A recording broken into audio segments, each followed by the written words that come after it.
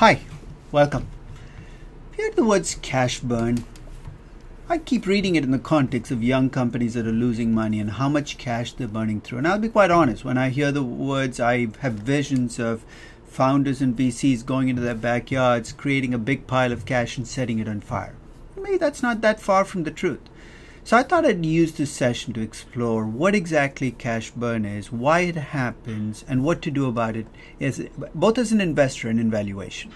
So let's get the process rolling by first looking at cash. I mean, notice the words are cash burn, not earnings burn. And while people loosely talk about money losing companies burning through cash, it's really cash flow based, not earnings based. So, first step in understanding cash burn is coming up with a working definition of cash flow. And as somebody who works with cash flows and valuation, I went to the play to, to the definition that I'm most comfortable with, which is free cash flow to the firm. This is the cash flow you discount to value a business. It's free because it's after taxes and after reinvestment needs, and it's here's how it's computed. You start with the after tax operating income of the company, not the net income, but the after tax operating income. You subtract out what you reinvest for future growth. And you break that reinvestment down into reinvestment in long term assets, usually measured as the difference between capex and depreciation, and reinvestment in short term assets. And what you're left with is the free cash flow to the firm. For a healthy, mature firm, this should be a positive number because you start with positive earnings, and even after you've reinvested to cover future growth, there should be cash left over. That positive free cash flow is what you use to service debt payments, interest and principal payments, as well as pay dividends and buy back stock. And if there's any cash left over, it of course augments your cash balance. So that's free cash flow to the firm. And that is the start of our discussion of cash burn because the question you got to start off with is can that free cash flow be a negative number? Mm-hmm. And the answer is of course. It can be a negative number because you start off with a loss. And then if you have lo- lots of growth potential, you reinvest on top of that loss, you have a negative number with another negative number. Your free cash flow, of course, will become a big negative number. That negative free cash flow to the firm has, you can't return it because obviously it's negative, has to be covered from somewhere. The first place you probably look is your existing cash balance and you draw it down. If that's not enough, then you have to raise external capital. From where? You either have to borrow money or raise new equity. If these losses you're making are continuous over time, well, nobody's going to lend you money, so you'll have to use new equity to cover those negative free cash flow. So your free cash flow to the firm can be negative, and this can ha- can happen to any firm, including a mature, healthy firm in a bad year. But what if you're in a scenario where this free cash flow to the firm is negative year after year after year? Not just, not because you're a terrible firm, but because of where you are in the life cycle. That is the basis for cash burn. So when you start thinking about cash burn, the first question you ask is how do I measure this cash burn? There are two ways it's measured. One is as a dollar value the amount of cash you burn through in a week, a month, or a year. So it's usually a, a temporal measure of cash of cash burn and it's usually computed by taking the starting cash balance you had as a company taking the ending cash balance at the end of the period and then dividing by the number of weeks or months you have in the period. So as an example, you start off the year with a billion dollars in cash, you end the year with 400 million in cash and you have 12 months, your cash burn is about 50 million a month. This, of course, works only if no new capital is being raised during the course of the year. So be careful about this shortcut. But that is one way in which people measure cash burn is as a dollar value per month or year. The other way people measure the extent of cash burn is what's called a cash runway. You're saying, what the heck is a cash runway? Let's take the example we just completed. Your cash burn is about 50 million a year, right? You got 400 million dollars left over now as a cash balance. You got about eight months of cash before you run out of cash. That's called the cash runway. Why is it used? The longer your cash runway, the more time you have before you run out of cash, the safer in a sense you are as a company because you don't have to go to capital markets. So we have a sense of what drives cash burn and how to measure it. Let's think about why it happens. Perhaps the best way of thinking about why cash burn happens is to think in terms of a life cycle. And I'm going to first present you with a benign picture of cash burn. Benign in what sense? This is what you'd expect a healthy going concern to look like as it moves through the life cycle. Early in the life cycle, you're a startup firm, you have very little in revenues, if not, perhaps nothing, you're making losses, and you're reinvesting because all your future is in growth. You're going to have big negative cash flows. As you go into the young growth phase, you're still losing money probably because you're getting established in your business. You're reinvesting large amounts still. Your free cash flow is probably going to get even more negative because you're reinvesting more. So your free cash flow stays negative. Then you get to be a growth company. You're you're starting to get some roots in your business. You're starting to sell more, perhaps get some pricing power. Your margins get less negative. You're still reinvesting, so your cash flows stay negative even after your margins stay positive. But at some point in time, as your growth starts to scale down, you get a glimmer of positive free cash flow. Then you get to be a growth firm. Your earnings continue to go up because you're a growth firm. You're starting to reinvest less and less because your future looking growth starts to decrease. Your investment opportunities decrease. So your free cash flow to the firm actually grows faster than your operating income. And then you get to be a mature firm, and both your cash flow and your earnings start to grow at a kind of mid mid level rate, maybe the growth rate of the economy. But you're harvesting your spoils from all the good stuff you did in the past. Then you could be a declining firm. Your revenues might start to level off, perhaps even drop. Your margins start shrinking. You start divesting businesses rather than reinvesting them. So that creates a cash inflow every time you divest a business. Your cash flows might stay positive, but they're starting to decrease from your stable growth phase. So if you look at the bottom of this page, you actually see the picture of a free cash flow of the firm for a company that's a healthy company that grows through the life cycle. So you're saying, so what? So cash burn is always good? Well, cash burn can be good, bad, or neutral. And so I'd like to talk about when cash burn can be benign and what it looks like when it's malignant. So let's start with the benign example, which I just described with that life cycle. In fact, here I'm going to be specific. I'm going to use my valuation of Uber in August of 2016, which was a pretty optimistic, benign valuation, a valuation where I assume that Uber is going to grow, become more profitable, a successful firm over time, and show you what cash flows look like when you assume when you assume health.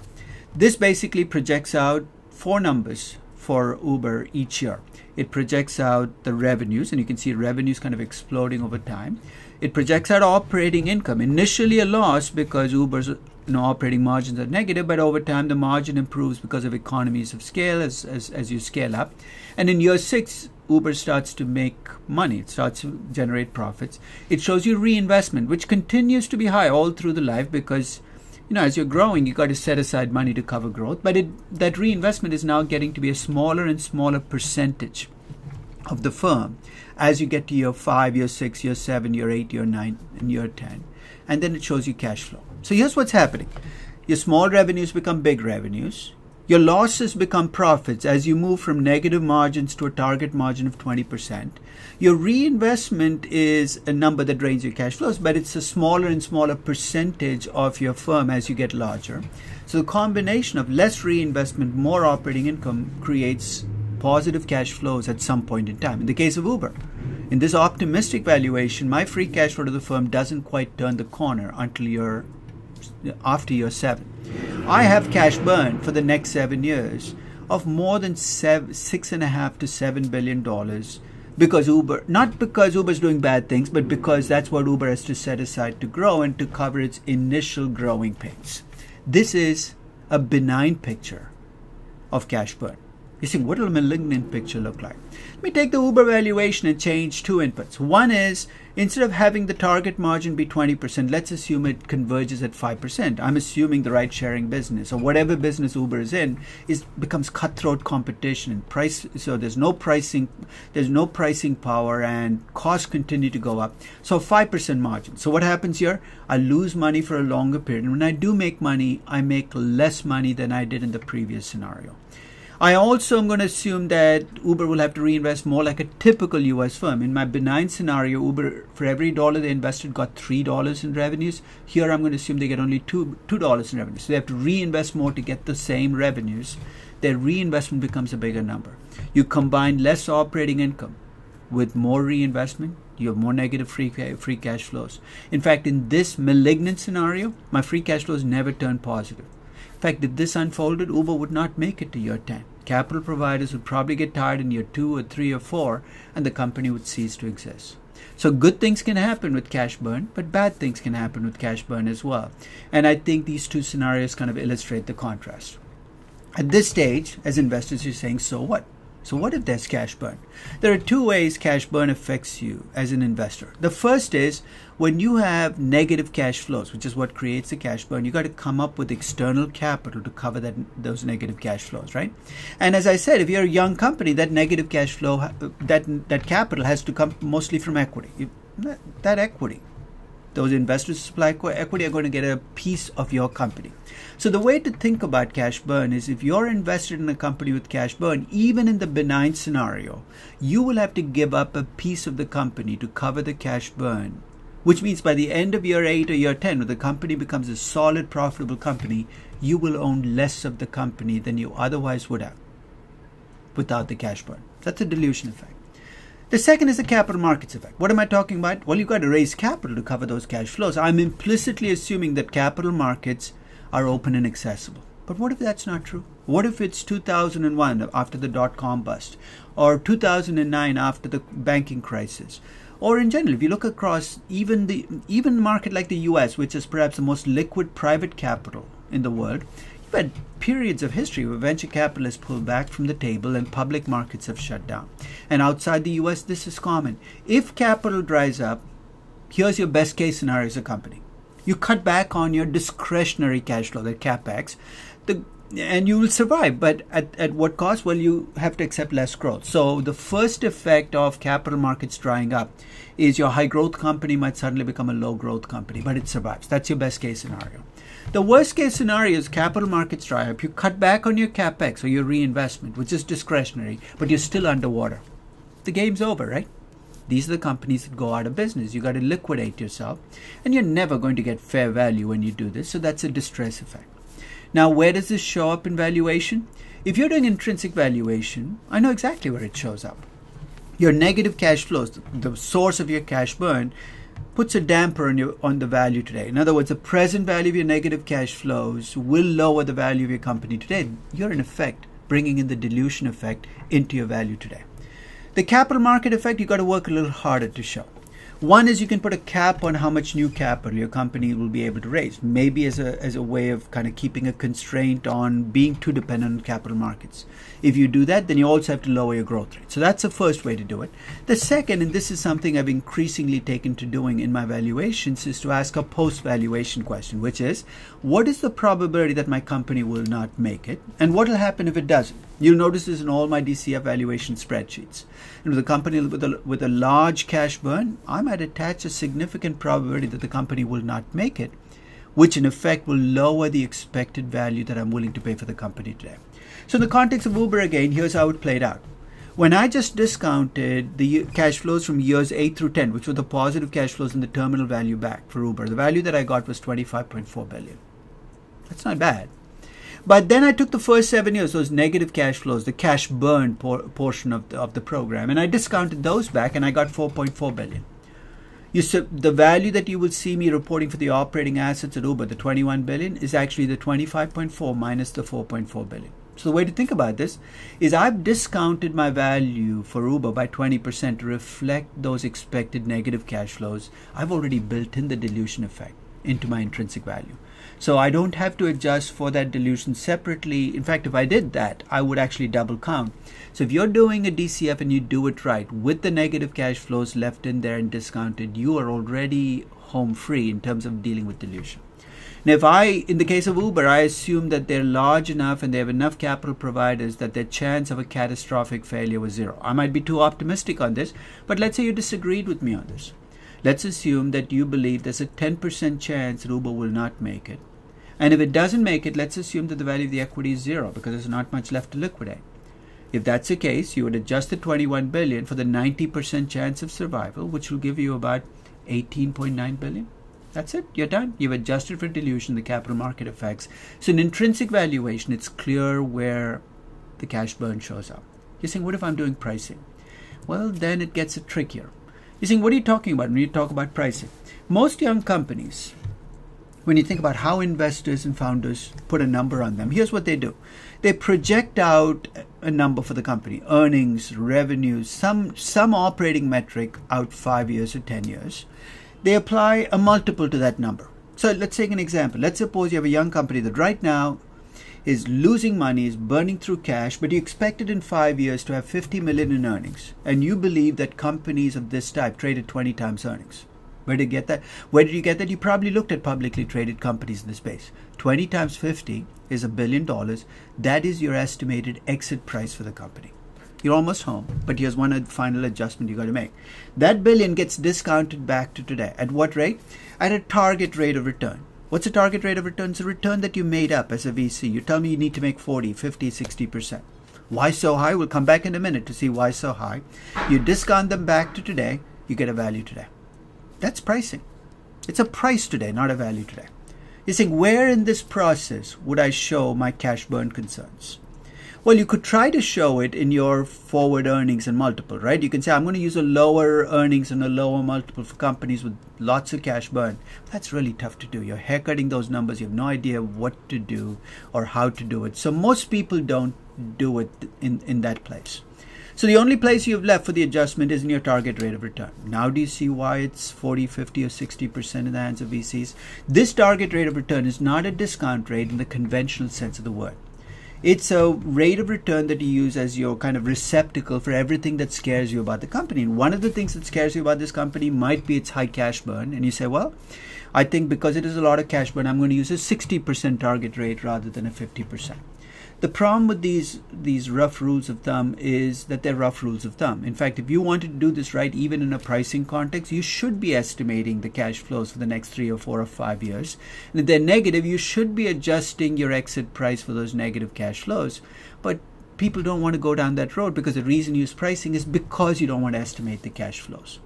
So in pricing, I would stop and ask, where's the cash burn built in? Because it might be built in, it might not be built in. And if it's being built in in an arbitrary or a, not, uh, or a way that doesn't vary across companies, you might find yourself over investing in companies with high cash burn and under investing in companies with low cash burn. So take a look.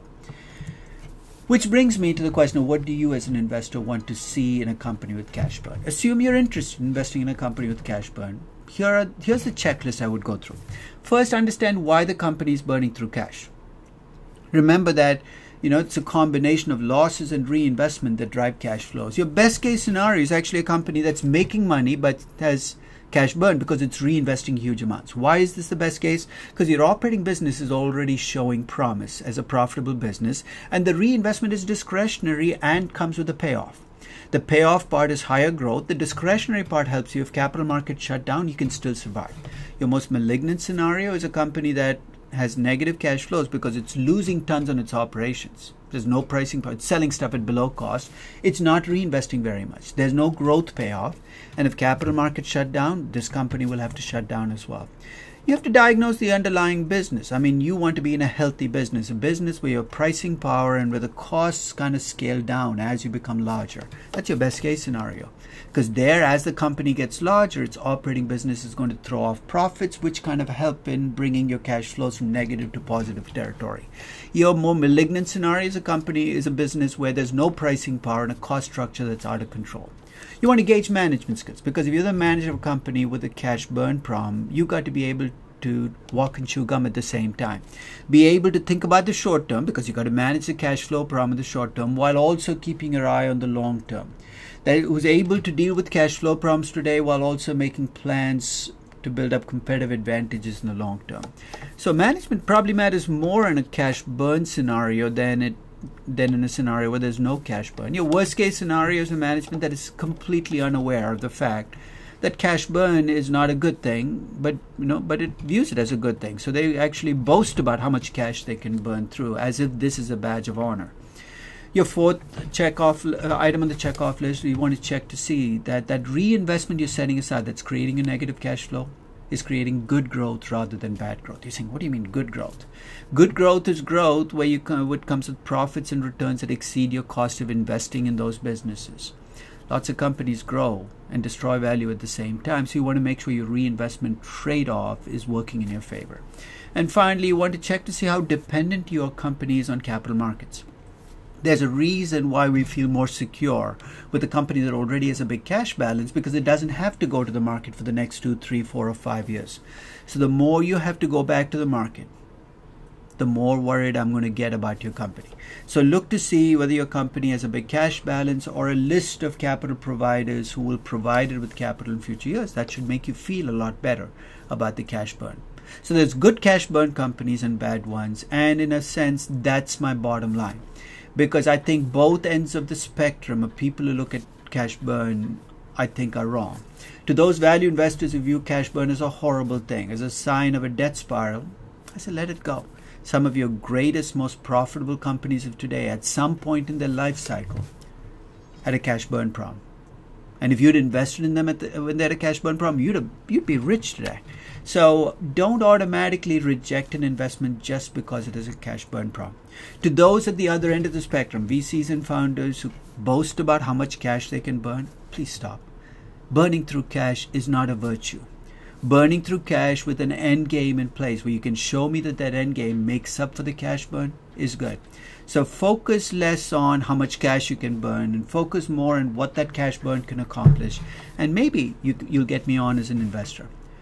So the next time you hear the words cash burn, I hope I provided you some nuance that you can use to decide whether it's a good thing or a bad thing. Thank you very much for listening.